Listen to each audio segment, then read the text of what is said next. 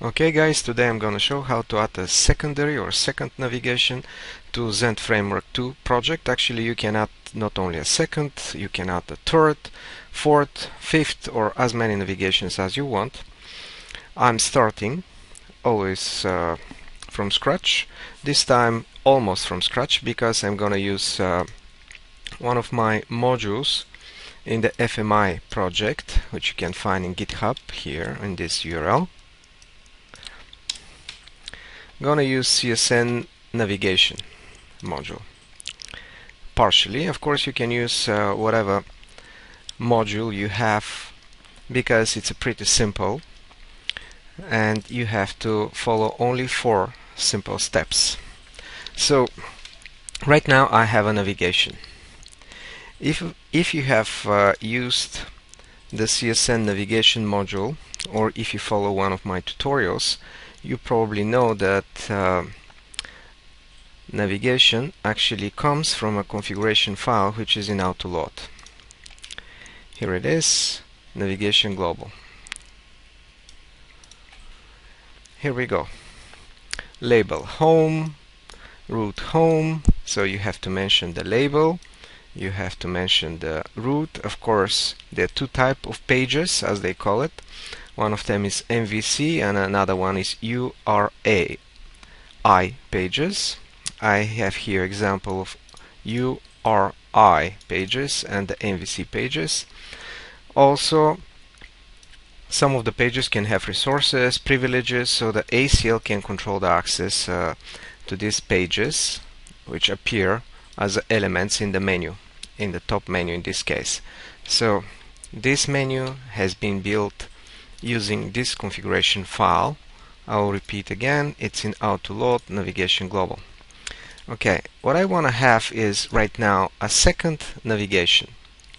Usually this second navigation shows up on the left hand side, on the right hand side of your site or underneath. Just because uh, I want to make it simple for me, I'll add my secondary navigation or my second navigation just underneath the first one which I have. Okay, all you have to do actually is pay attention on the navigation. All you have to do is just add one key which is different from default. This is the default navigation. I'm gonna go to the end of the navigation and add something which I already have. I tried to make my life easier so I did it not to waste time. Here it is my navigation from which, from which I'm gonna copy.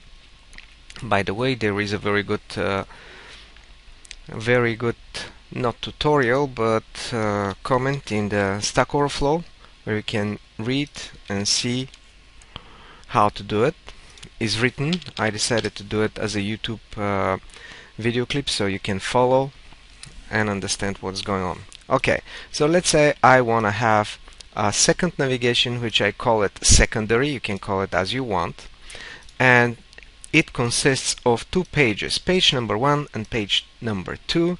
Both of them are MVC pages, and I mentioned the route home, and in this case is uh, home as well. I just do this by purpose the labels are second page and the first page. Okay just adding the secondary navigation to the configuration is not enough you'll see now. Let's refresh and see what's going on.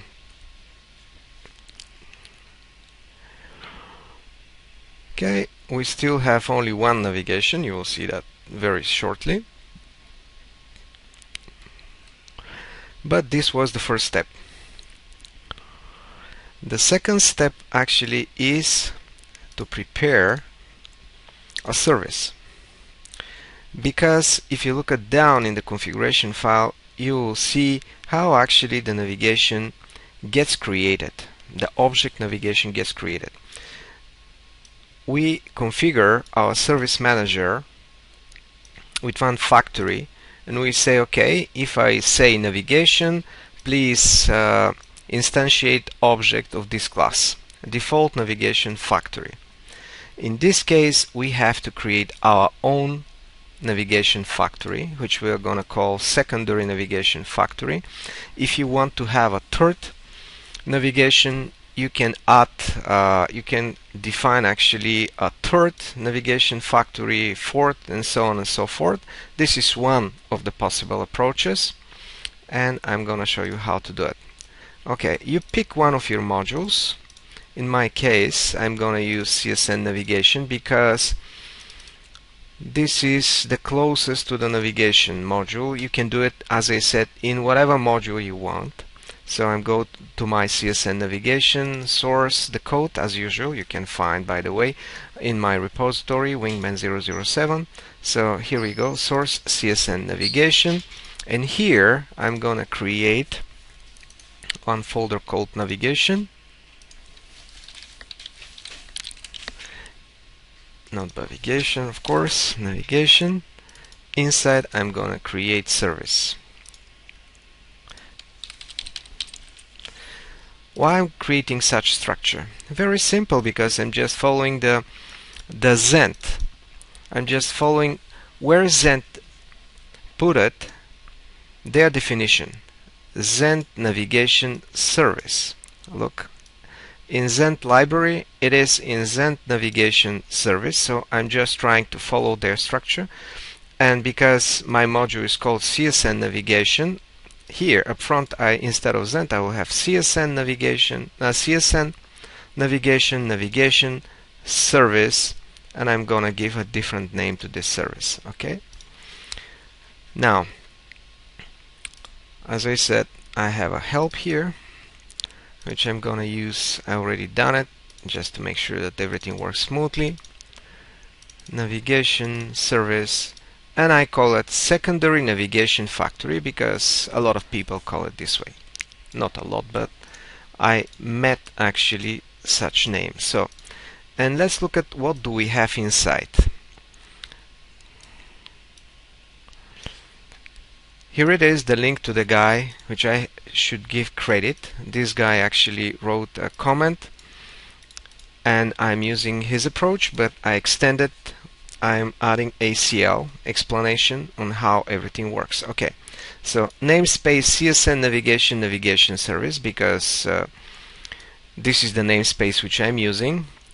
Zend navigation service default navigation factory. I'm gonna extend this if you want you can go to Zend and look at uh, how this class looks like. Secondary factory navigation factory and all you have to do is just say protected function get name secondary and that's all. Once you have the service you go back again to your configuration. I'm gonna close uh, my helper here. I go again to navigation and because I have already this ser uh, service defined. All I'm gonna say is secondary navigation. This is the name which I'm gonna use to call my secondary navigation. Pay attention on this. Secondary this is the name which I'm using. And in the config actually this name is gonna be expected secondary. So if you want to have a third one here you will put the third one and in the service which you have to create you will say third instead of secondary. Okay I'm gonna continue with the secondary now.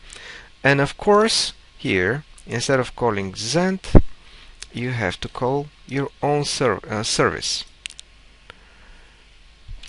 Okay like that. Secondary secondary navigation factory factory. Okay so that's it very simple. First step add the secondary navigation give it a name give it a key actually under the navigation in the config here under this key navigation. By purpose by the way I'm using also here names for the different pages which is not necessary is not mandatory. You can uh, just skip this and define the array. So this way also is gonna work. Just as a comparison I put it here by purpose with the names so we'll see another way of doing it. Okay so now we have the secondary navigation. Let's show it up let's show the navigation.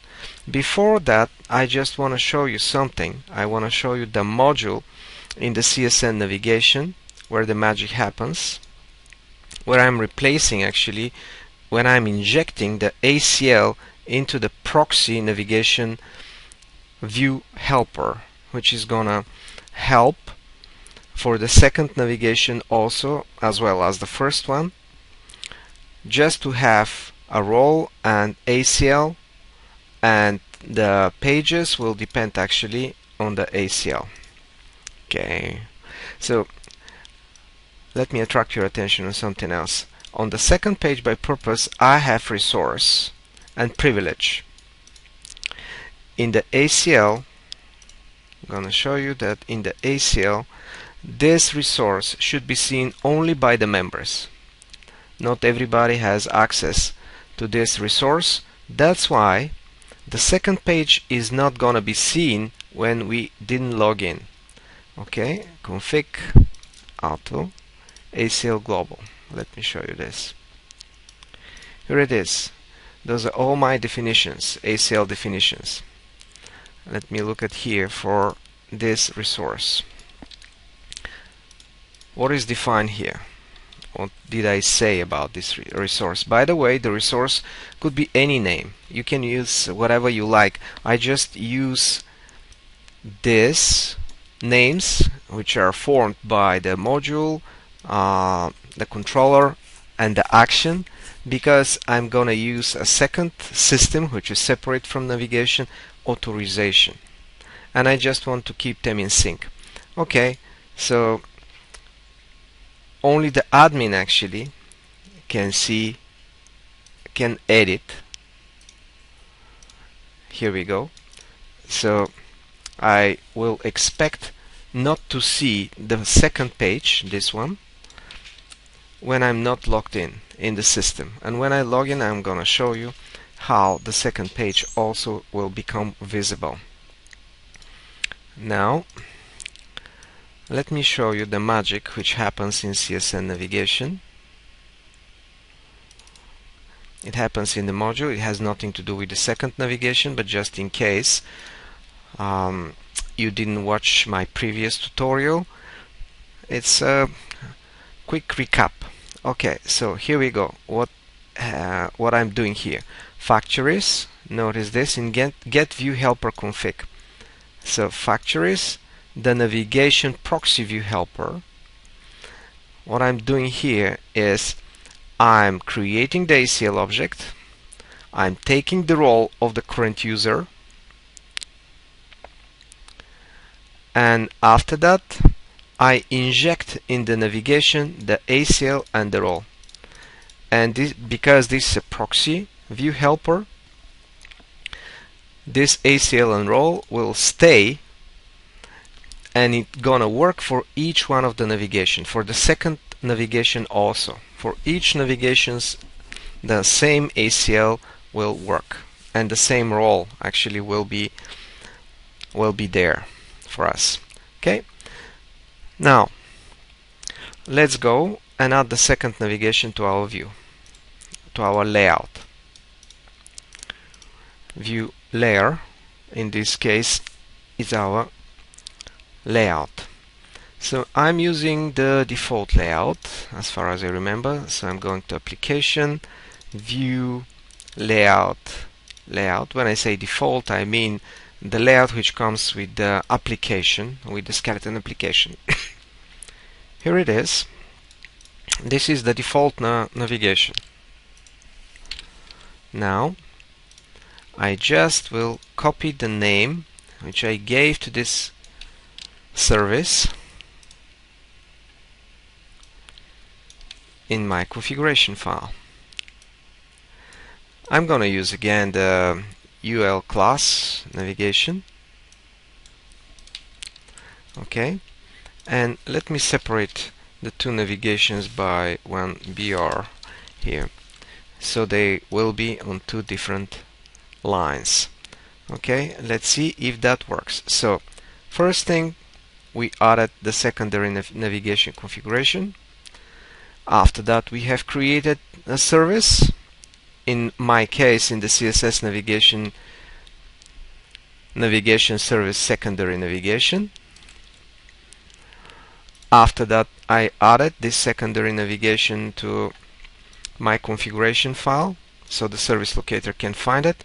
And the step number four is in your layout in order to call your secondary navigation or third navigation fourth whatever navigation you like to have you just use the name under which this service is known in the service locator and that's it. It should work.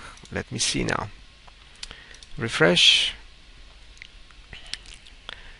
And I should see a second line here with my secondary navigation which I said as I said could be on the left hand side on the right hand side on the bottom or could be utility menu with uh, welcome Stoyan um, log out login whatever you like.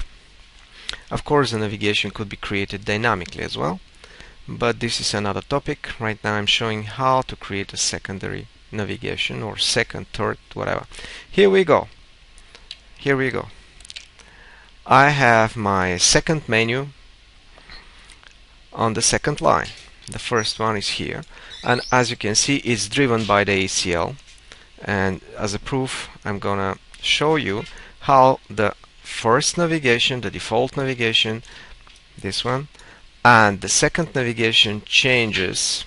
Both of them are driven by the same ACL and the same roles which I showed to you. They got injected in the module of the CSN module file PHP in the CSN navigation okay?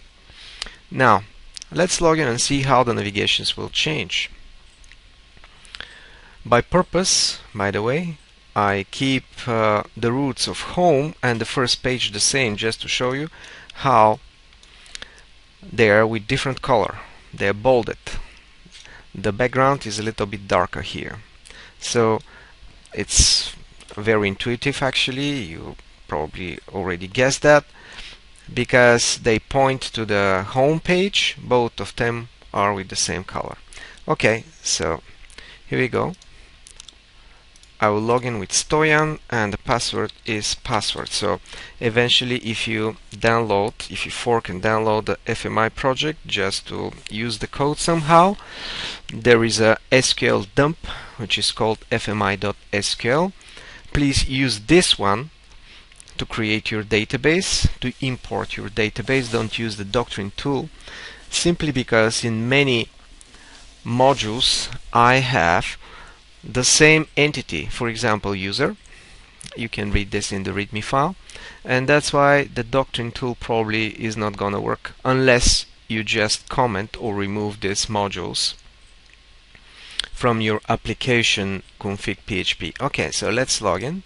Stoyan the password is password and I'm expecting right now to see a different menu to change my default menu and my second menu secondary menu also will be changed. As I said is driven by the ACL uh, when I log in my role will change to admin and the ACL right now allows me actually to see the links the menu elements which will lead me to controllers which before were not accessible to me. Okay? So as you can see it works. Second page again. So now I'm an admin. I'm an admin for the system and as you can see the first na navigation the default navigation has been changed accordingly. The same for the second navigation or secondary navigation okay so let me look at again the configuration file because I wanted to uh, point something else. Here you see that actually the root points to the home. That's another controller and action. It's not the same like the resource I'm using. Usually I wouldn't do that I usually will put here the route which will leads me to the same module, controller and action. Right now I don't do that just to show you that uh, the resource is just a name. It could be anything. But I usually, as I said, keep them in sync because CSN authorization is using this mechanism to understand where we are trying to get which module, controller and action. So it gives me access or denies me access. So that's why. The first thing is that the root can point anywhere. This is the first thing.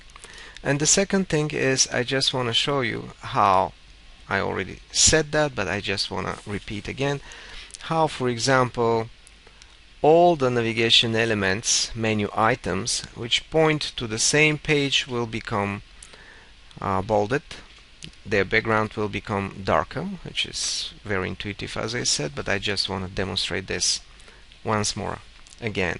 So home is the root here for the first page. Home is again the root for the uh, second page. And home is again the route for the default navigation. Okay all they point there and thanks to Zend actually they have been bolded okay that's it guys. Uh, I hope it was uh, helpful and see you the next time